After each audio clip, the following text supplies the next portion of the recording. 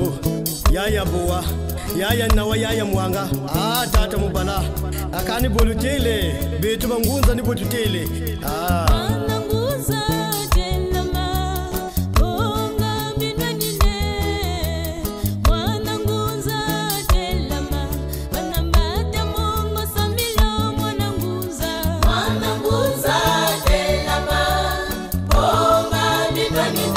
Para la altura y Pepa E, na nzela ya mbeve mpe babeba yakelene nzela ya motindo bakulu ya beto kobikaka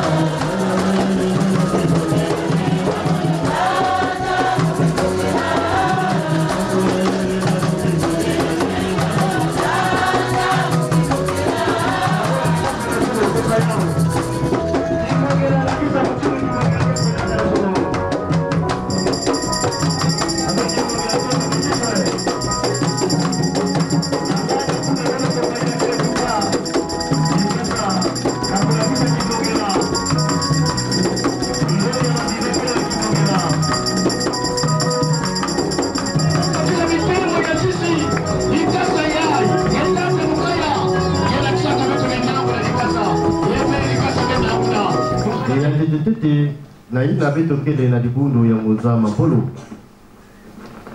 tongunza message betokele mutindo bangunza wi ewapiki ngunza ina elamediki ngunza authentique ya kinkulu santi ya ntete betokeza bakoremarke mabundu mingi ya bangunza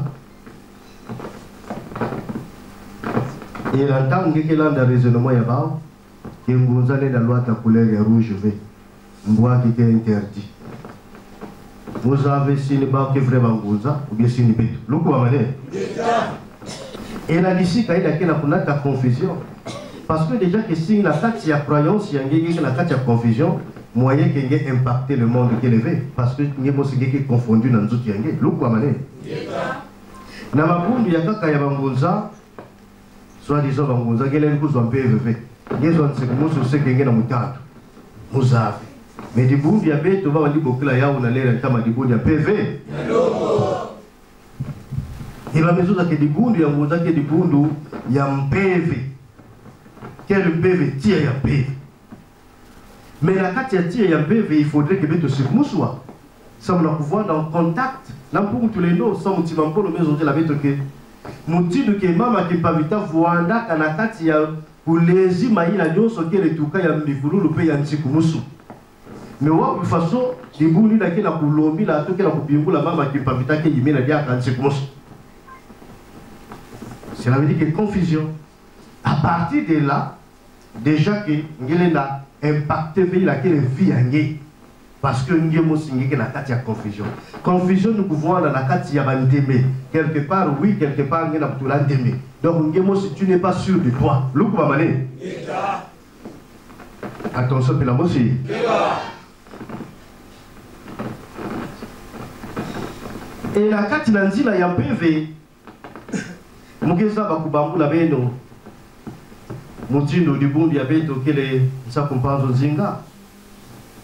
Mais y mejigundu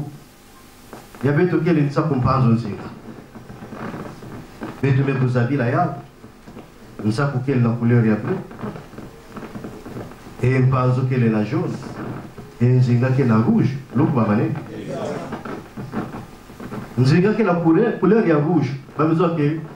couleur ya lulendo mama wa maman mama nzinga va manene Et rouge quelle couleur ya lait me betongaka na kati ya beto nani tongaka mbanza ko mama nzenga so yalinga royaume congo zolatunga mabe lukua mane donc so yandi royaume congo zolatunga mabe eyalike na opi couleur rouge lukua mane beto mevutuka liaka kaka na diambu ina e na kati na nzutu ya muntu kopanda na kati ya nzutu eyandi na voila na kotiluke nyonso ya mvimba a retrouvé retrouvé couleur ya jaune retrouvé retrouvé couleur ya qui qui va retrouver caca? rouge Et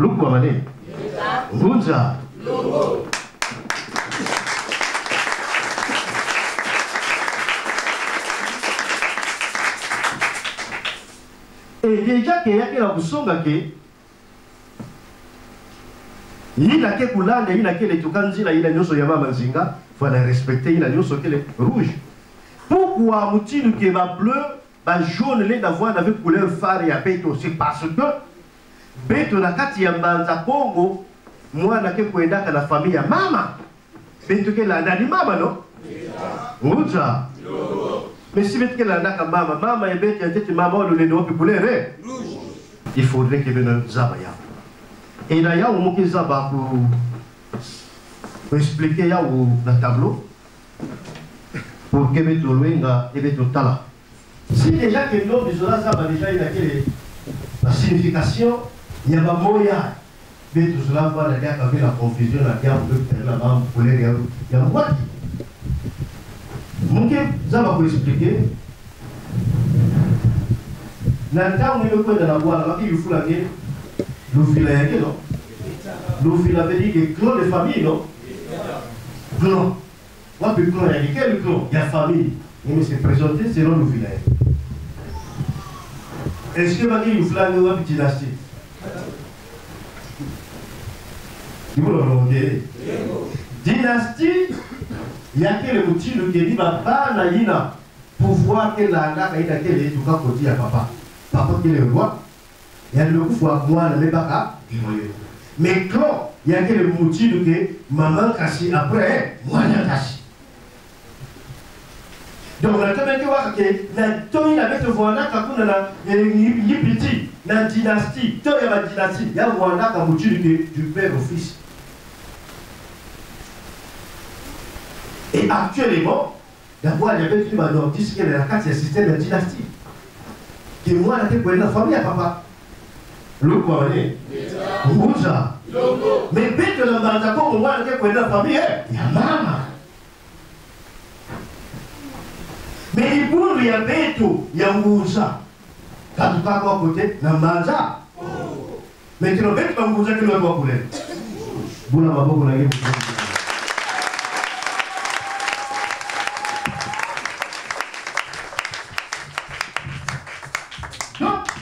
kuzonza ke ngunza ina kesala deba ke na fulele ya kushike ndo bileni wati ya ufifu nizo zikianikira kati ya tombi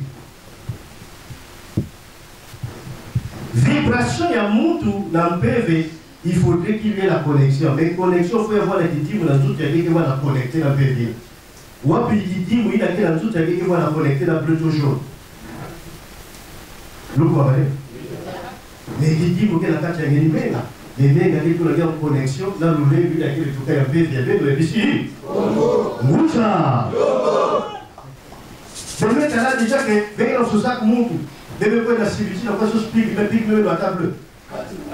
veut, il dans bleue. qu'il le levé dans la Même le dans la bouche, ça rouge. Mais t'es là, il dit, la fille. Donc,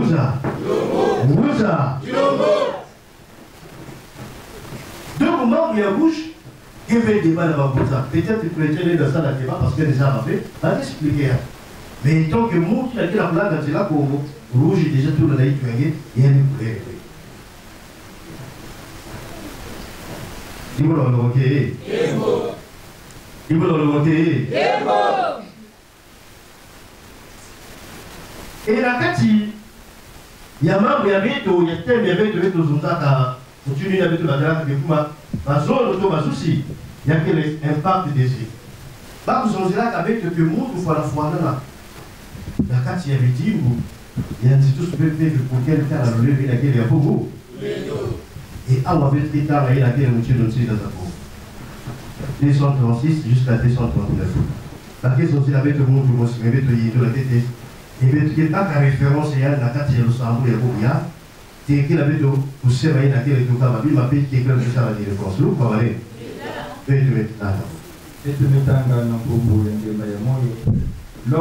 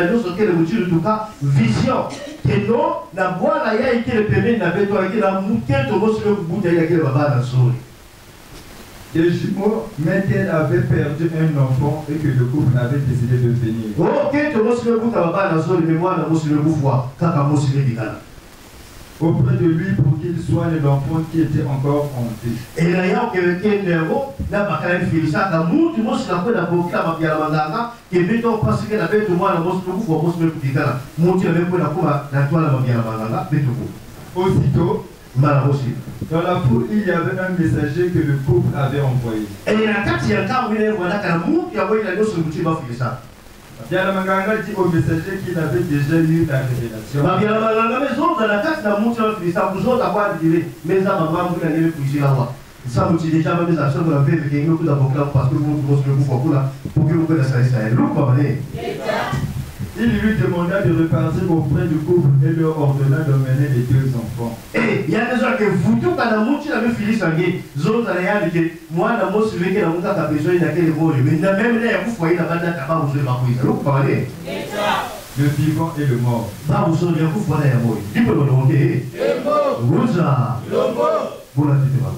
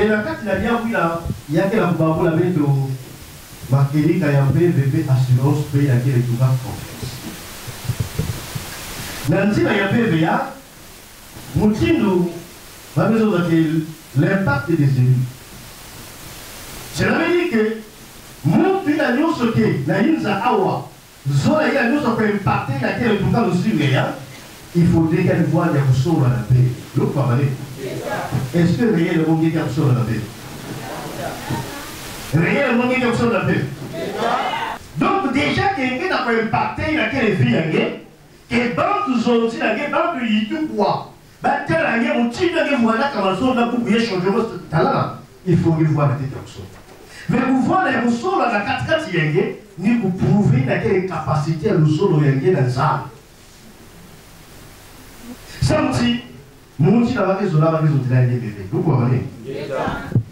cela veut dire que kuzozela mpe bimba yibi kuzozela mpe bisibi yibi kuzozela mpe bikisi yibi kuzozela mpe mpeve yibi kuzozela ngema yibi te si deja kenge respecte ya ngenge prouve ke ngenge na losono na nzambe na mepesa mpe toyina kelekisango ya lokubabane mais si quelque part ngenge nazonza yibi sekengenge verso lokubabane eya kaka na kati ya beto ke beto manifeste confiance ya beto na mpeve ndenge bitimo ke alakisake beto ke moso komanifeste confiance na mpeve cela veut dire que même si pasi kumi na nge nge masekufu agele likoeleve na bakretien même si bafamille na yango ngenge ezodebi kumvumuvwao il a une confiance na mpeve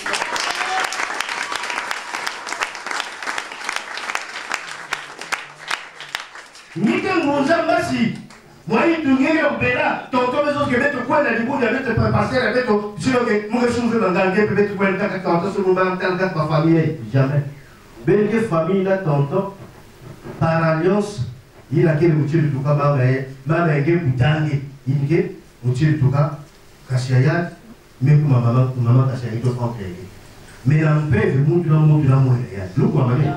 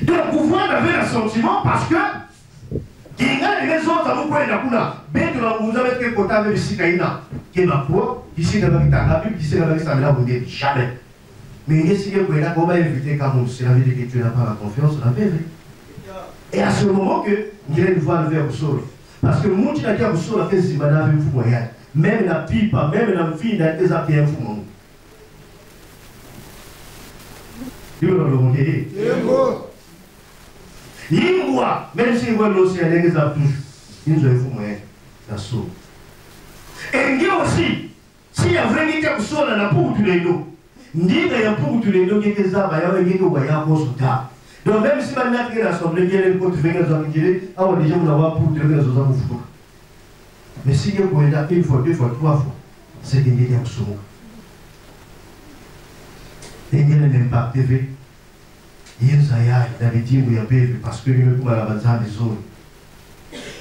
attention mpela mosi attention mpela mosi e awa na bangongi bamezozala betoyiki mabialamalanga organize kei avwandaka mutilu kilongola mutilu njetolo pelerinage e na kati ya prusi bakeka kosambela bakena kolonga nakuti ya mfutu na bayina liso mwanaka na mibeko ne mose na kati na bavwandaka ndoki bwali kaka misango kosala movusu bamvute bapage mpe priere e babyala manganga mezaba na mpe yandebaka kaka mokawa yametande kaka twafo na ito ya bala mosi diare e na bwala kuna e na pipa vere ndokufwa kobasika babyala manganga na kati na ya yambe ndingisi brusu nyonso mpe bakatiya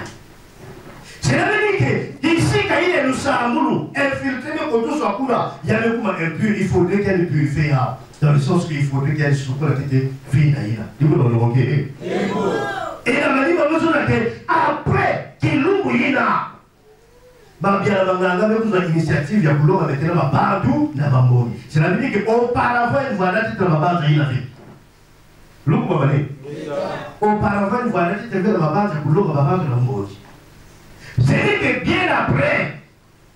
il y a maintenant la réaction, il y a un prévenir, mais agir dans le et il y a maintenant la même administrative, il faudrait que vous pas. Il y a besoin de chaque conquête Donc, il y a aussi pour vous que la Katiyangue.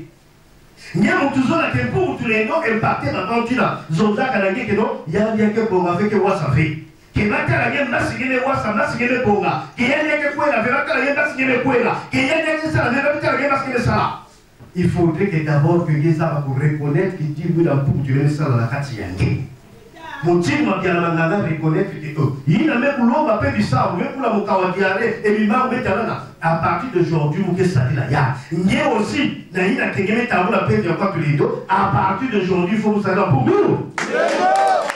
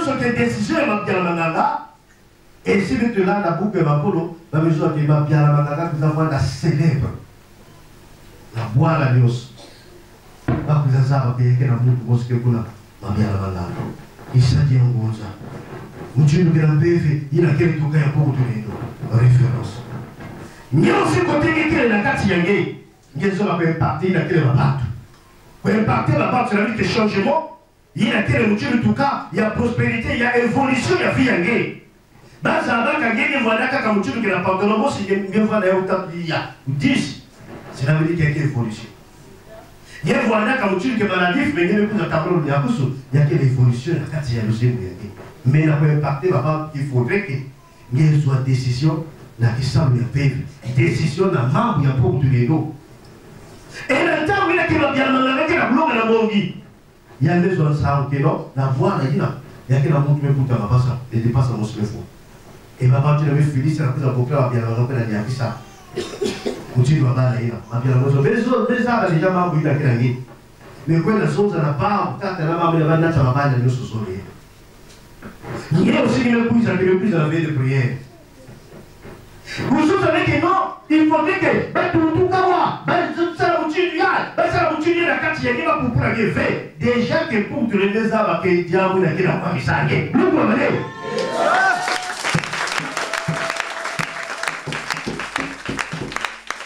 C'est pas la peine que l'on explique Vrai.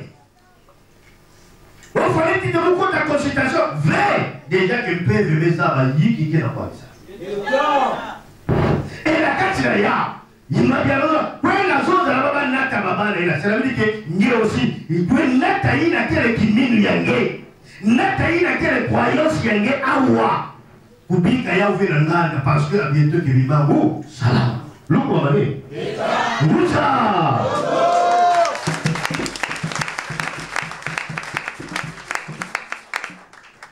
ela kati na yako ena ntango litali na kubaka bana taka wa bana nusu zuri naye kufa naye moyo mambo ya mabya labanusu kibiri tula ba kuna vita na wao na toto kuna abitula kwa laba vita na wa sawa bani yende makol bizo la bizo kimabya banga ngabi bila ila ni baka ila nusu kile ba mbogea ni gani kuleta ba mbogea ba bana ya ni mwana kufa ila mifukuka insawo be kwera ke ya kila mtu mosi ya nguvu zake na kusala bidimu na bima Sila mene kekunata kwa yosi yage awa tatu na mabanza ye boye kokouvoir avait perdu kuproje kaka veke no nonga tiaenda mubika na table ambuka mete ndeni na ile lutu kuna ve mambo ya mpuku na inzo malembe regle awa tete vukisa tete mwele yange ya kutuma ke mekuiza mpuku tuleno mekuiza na bati bazoleve memekuza sabelage parce que mosala bakengekele nzambe esalaka mimango na tata matwa na mabiala makanga ya munu mpe mpuku yekele pari ya munu luku ya manene yes, parole pour les noms qu'ils ont agir.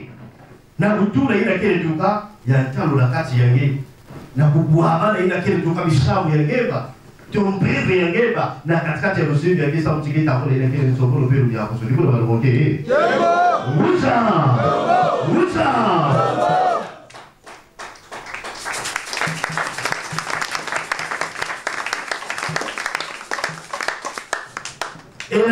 mpe bakala luku ekulu kaka luku ekulu paragraphe 75 beto owa yiki luku ekulu ngeza lusa beto na nsela ya pevi na beto bakule kudime na pevi ya kwato yenu beto betanga na nkombo ya kwato lendo appliquer cours aux enseignements de Bourg Tulendo. Et eh bien nous appliquer la carte Yamanon et la carte Yabourg Tulendo. Qui a été transmise par ma bouche. Il a été la Koubasika Naïmo Yabourg. Cela vous aidera à retrouver vos solutions par des réactions spontanées. Oh, il y a yegezana kunatisa meno na kutambula la mvutu na kati ya misango ya beno. Car dans toute l'Afrique, il y aura que la domination des temples moi. Et comme si bien son zaba ya, il avait été appliqué dans la langue ya. Beno tuna na itu ya beno que l'Afrique nyonso ya. Kevwana dominer na kati ya matemple ya bandomi. Kibolo balokoke. Kebo.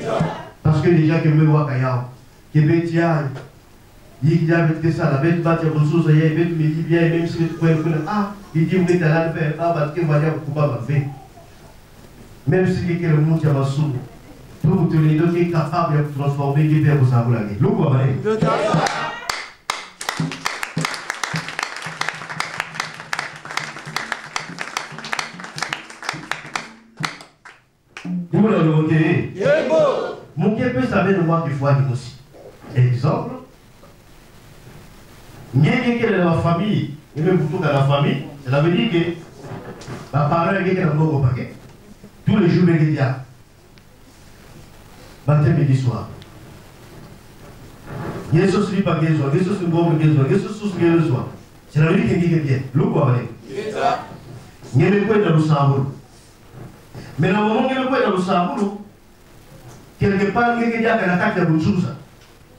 nzambe nge semba nge ndenge esapi na ye bengile kuiza yai pekele famille y a na kati ya famille ya mabovu papa na mama kesha nave emama mebika na veuve enge il y a eke ya kokula baleki te pake me ngenge na baskade akosala mosusu akoki no bakoma na plus disa mama na baleki elinga sikebe kue na losambo nzambe kesembo ngenge sakunge ngunza eske ndenge na kolanda shema yange eke bien na baparole yange kimvenge na moke meme basike na kokwela losambo lelikoesala mosusu nzambe kesakunge yo kisendea yange eke baparole eke pauvre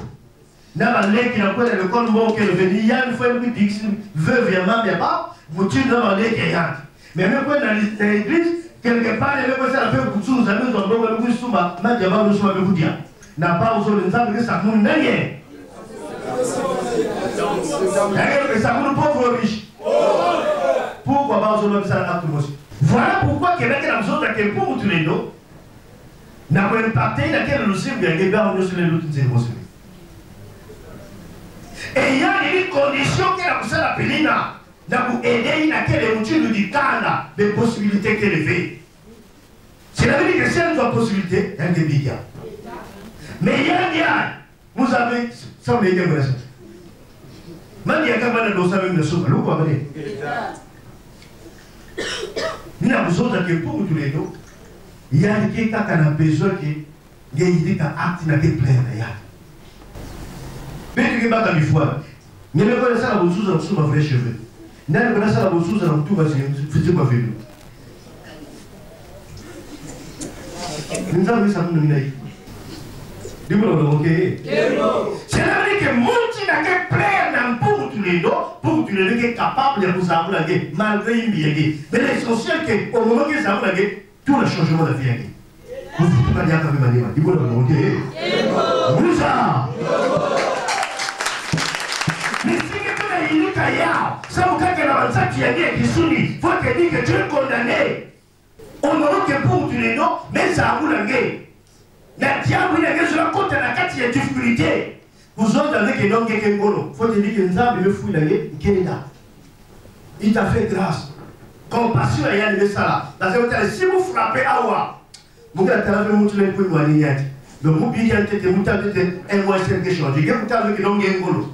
junior baka moplace ke vuliave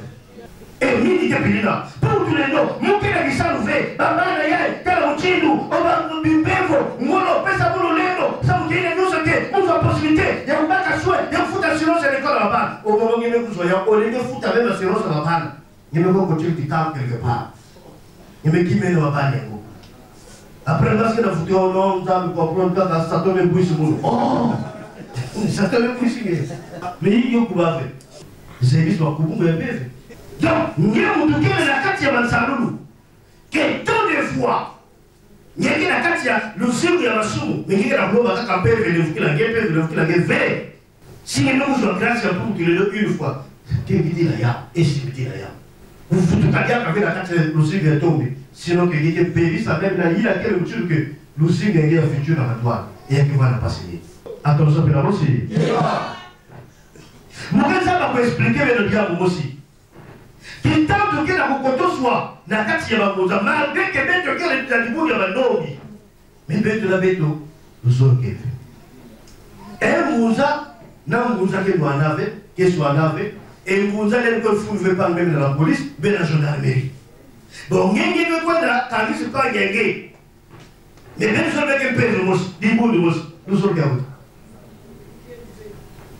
emasi ngenge bwisaka eno ngenge pupula mpe babantu ngenge munkengi na kapangi na komisaria masi ngenge pupula babantu monti ngenge kwena kalisa komisaria mpe yengeyenge ya kuiskul yangi ndi ngenge pupula apres ngenge soziki yengeyenge epoli acte yange sadulu yange keve ya kufanana marge ngenge nguza mingiki na kuvivre mpe na kati ya baprincipe emanguza atosapela mosi ngeke nakulutisa lere ya pamba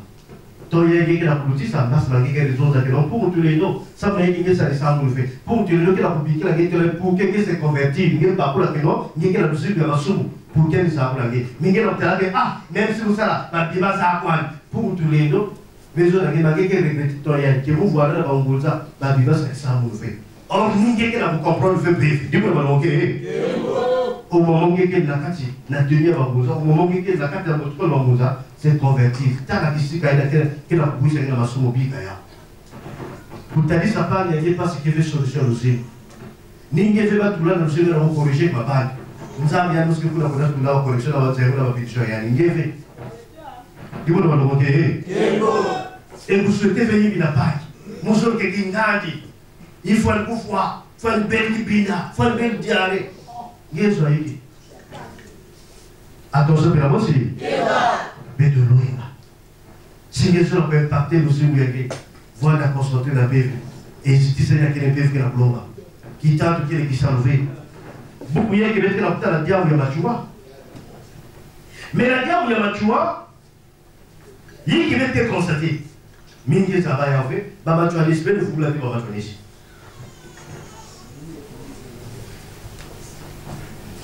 na rezo si munti kwa sala mufus na kiloko no blen ka ole tuno Yeja. do i ye kina bwana kina sala mufus no kwa jamii niki mkawa kugenne niki jare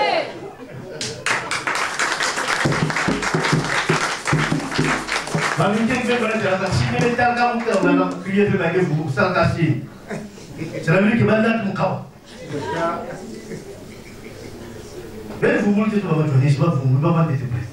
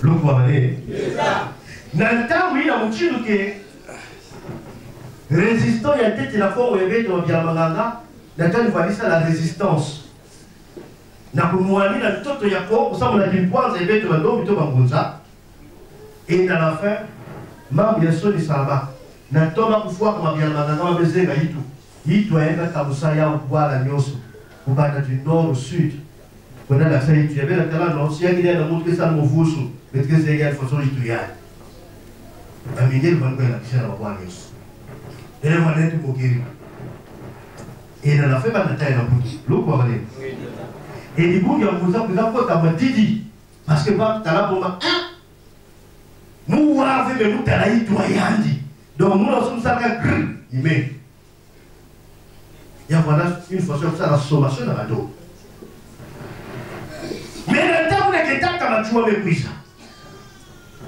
taka machua menda taida kile kipeve yalibumbya muza yalesosa mbamwaye kuchini vyosoke ndio vitangula kimbwaza e, eyali vevutakope na vita china kulo luku wamale enkumbu yakimbuza vikuza waka mena tamamekanga taka machua yalisambikaka ila vyosoke libundu kuchinuke taka nzungu vikalala libundu taka nzungu yanye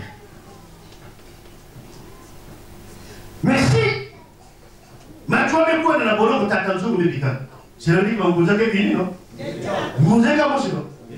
mepuka bitetilize puka banguza tetilize obayayi na kutalaba bakorobo bayayi banguza ke ngani bayayi babatwanisi bayayi bafijo puka ya pake pake tandis que batua banaka ya mosu etoke nguza babetulenda konoko yamesa mbikangila kila uchumi kengwani ende kipindi tata nzuru bakoteletikekao loko abale mais division toza kotala yeke kaka na kimutu le bien matériel kimutu tozasala division na babonza e division mwanako ya mocina ni babantu solo yaye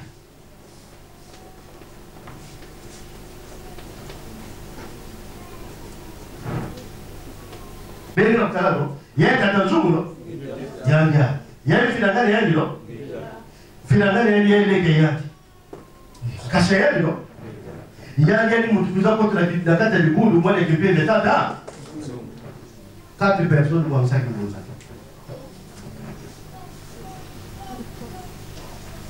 Luku wa mane? Luku wa mane? Tatu ya yake. ni yadi babikira kautidu kutwanisha miguu me yadi na kati na yake yadi waneno vila ndani genja yako genja yani vuandaka na leki ndio bakaka bofre walifanya hizo ataka mzuu lukwa mane ya wala moto hivi eyokiro leki ya madamu vanda bauno na kuenea mino mekiro taka mzuu pe vuandaka picha yani ni pipi yake imbereke bie embote eh, no nibawatumawusakebuso au moment que tata nzoko mekuzi kufa nalike bikala ekulu ya les autres que non mais si tata nzoko mekufa mais sabieka munu muni mwaleke kimbeli cela veut dire que muke continue libulu na nkubi etata bacwano lukuba bane frère qui dit que non ngenge kaka petit mpe kapika ailleurs muyange mekuti na sere ya munu babali yakata nzungu na munu kele baneve ya munu donc munu moke twalisa libundu ya baneve inamisa kika papa bao babo frère ya midodoe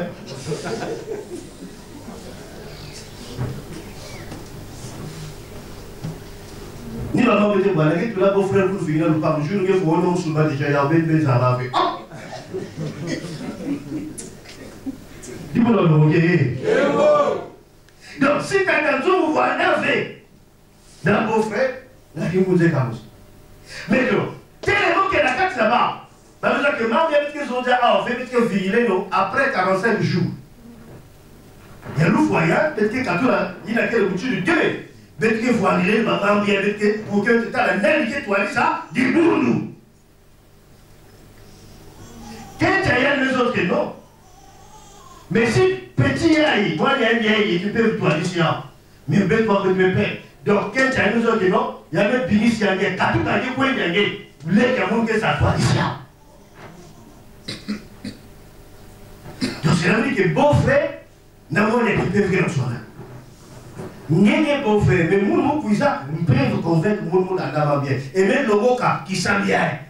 nayali mutu ke tati yango mutata nzungu ngeyi ke bofrere nge kusala movusu te lukwamale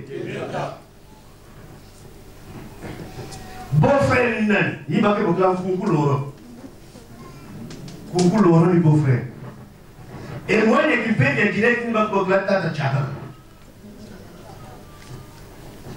donc tata chaka kalinga vala mwane kipepe ya tata nzungu nkunku loro vanaka bofrere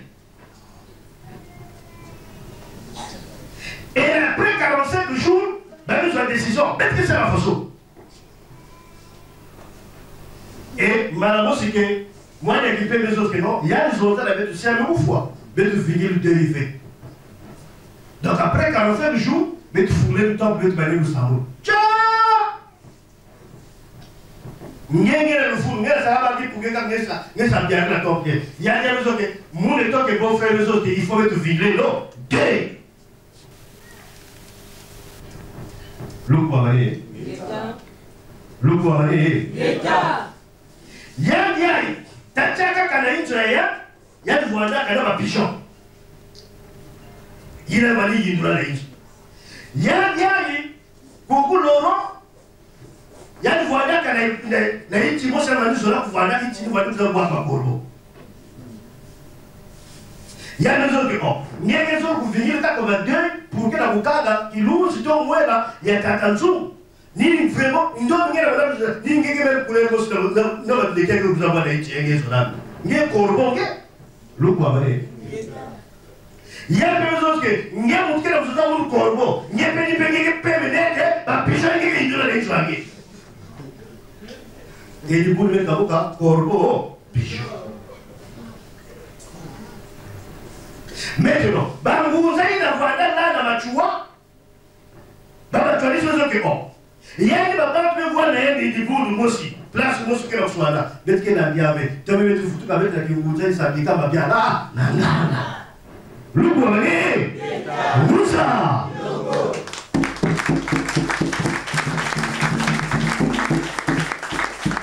yebetoke mumendi la Corbeau, parce que muve utubana pe yao bwekambogo mpe bwandaka korbo inatoba uzolwa beswana yandebekwesa ntibundu yandebekwesa ntibundu ebanguza mpe bikakota bevutu mpe bakwasa libona betwemwa